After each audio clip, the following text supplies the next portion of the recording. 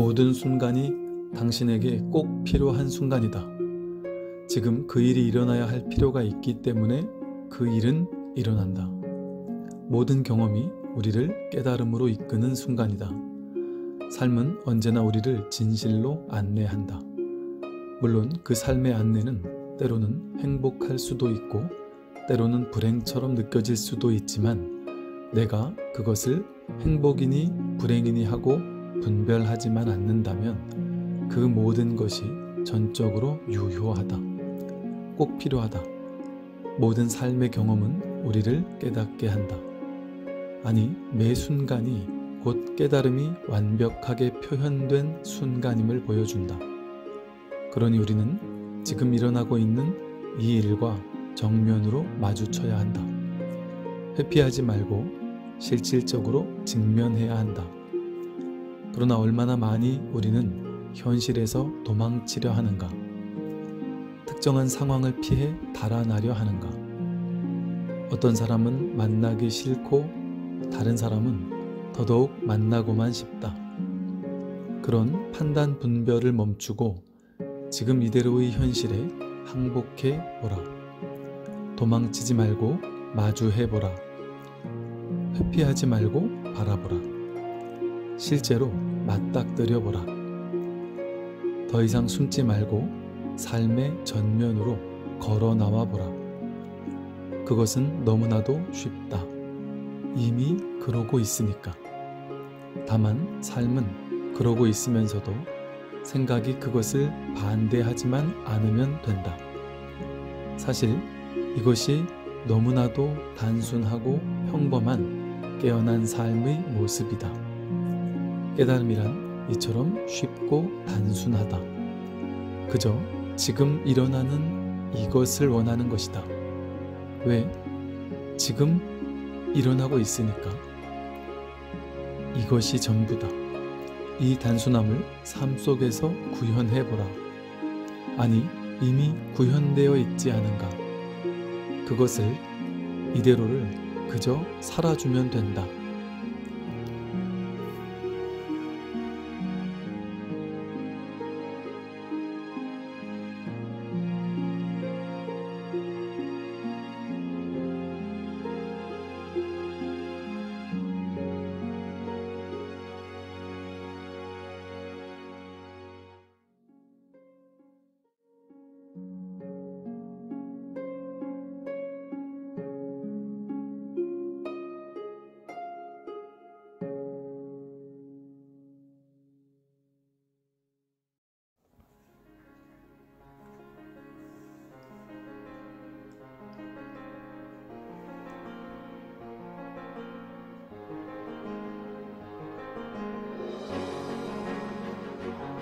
지금 여기에 있는 것, 그것이 내가 원하는 전부입니다.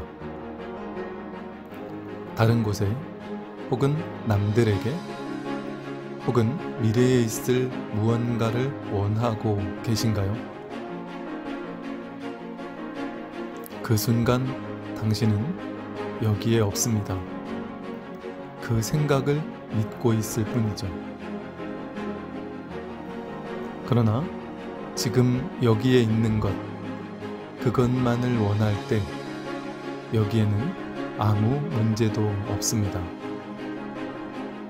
당신은 비로소 지금 여기에 도착하게 됩니다. 그 무엇도 추구하지 않습니다. 추구하면서도 추구하는데 집착하지 않게 됩니다. 미래의 무언가를 꿈꾸는 것은 좋습니다.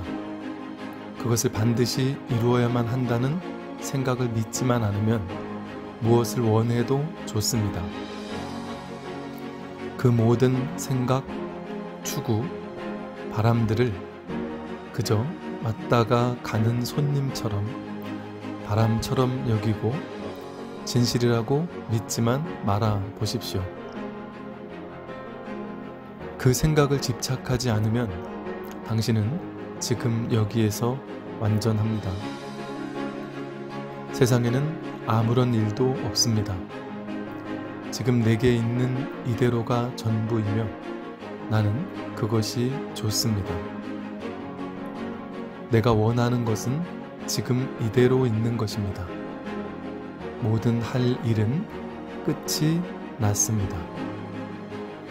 지금 이대로 이렇게 아무 일 없이 그러나 모든 일을 하며 평화롭게 살아가는 것이 전부입니다. 지금 있는 이대로 당신의 삶은 완전합니다. 지금 그대로 존재하며 거기에서 삶을 즐기십시오. 이대로도 괜찮습니다. 아무런 문제도 없습니다.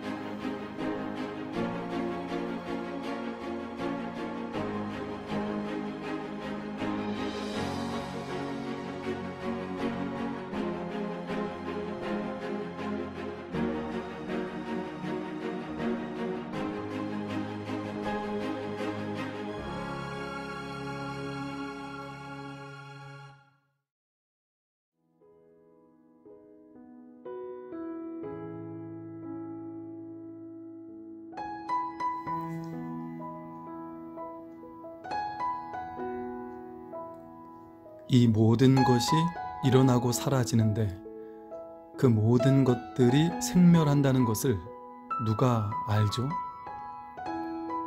무엇이 그것을 보고 있습니까? 분명히 생겨나고 사라지는 것들은 목격됩니다.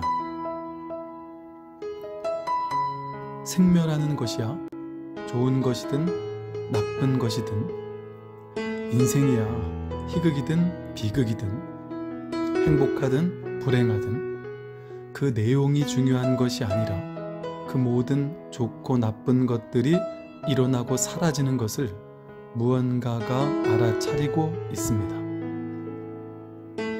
공적영지라고도 하는데요. 공적해서 텅 빈 가운데 그 아무것도 없는 가운데 소소영령한 아는 것이 있습니다.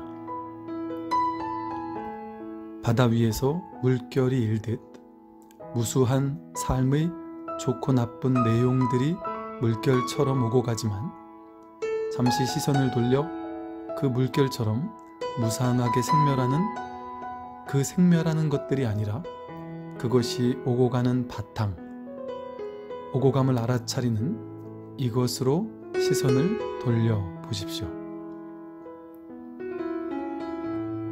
우리는 그동안 나는 괴로워, 나는 행복해 등의 오고 가는 내용에만 관심을 가져왔지만 그것이 무엇가 되었든 그것을 알아차리는 이 있는 그대로 보는 그것을 돌이켜보지는 못했습니다.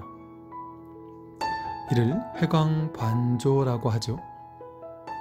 보는 놈을 돌이켜 보라. 알아차리는 그것을 알아차리라 하는 의미입니다. 옛 선사 스님은 부처가 무엇이냐고 묻는 제자에게 묻는 그것이 바로 그것이라고 답합니다.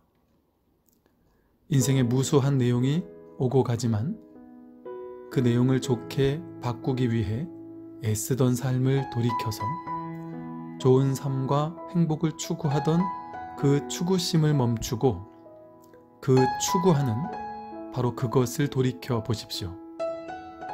바로 지금, 지금 이 순간 눈앞에서 많은 것들이 경험되고 있죠. 많은 것들이 저절로 알아차려집니다.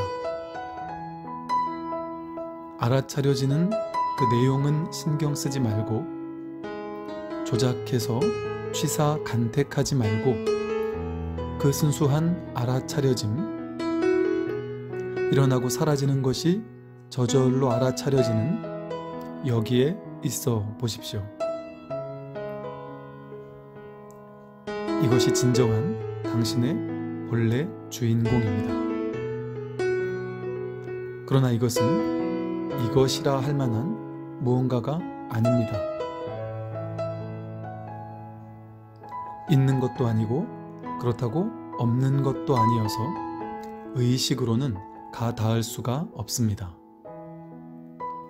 이해는 있거나 없어야 하는데 이것은 이해 넘어 분별 넘어 출세간법이기에 인식의 언어나 생각으로는 있느냐 없느냐라고 결론 짓듯이 말할 수가 없습니다. 눈앞에 이것, 저절로 알아차려지는 이것, 이것을 눈치채셨습니까?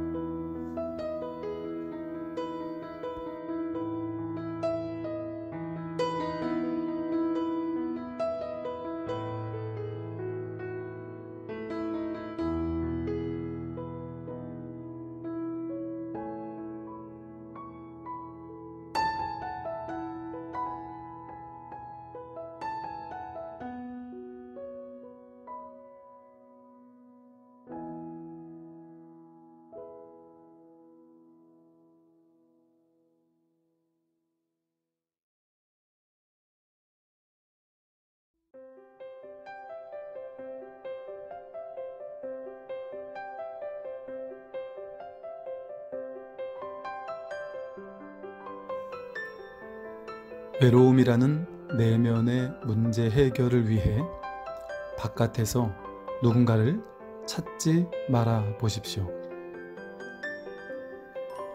외로움을 거부하지 말고 잠시 그 외로움과 함께 있어 주어 보세요. 홀로 가만히 존재하는 그 외로운 시간을 스스로에게 허락해 주어 보십시오. 외로움을 느낄 때면 외로움을 없애줄 대상을 찾아 나서곤 합니다.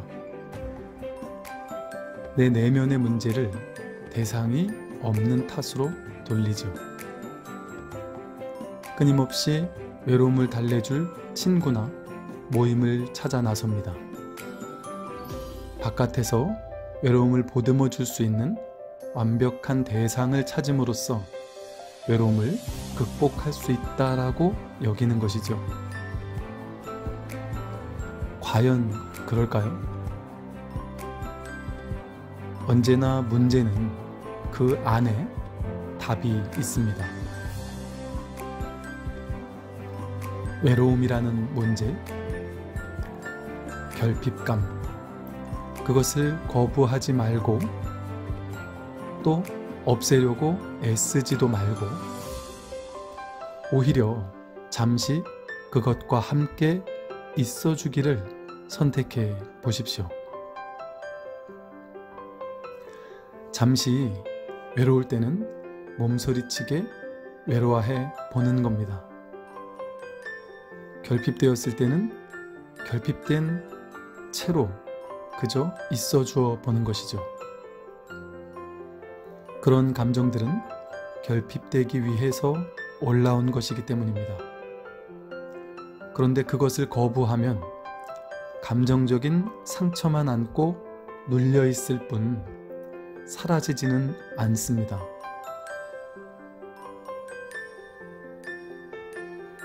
함께 있어 주기를 선택할 때, 그 문제와 직면할 때, 모든 문제는 제 스스로 답을 찾아내게 됩니다.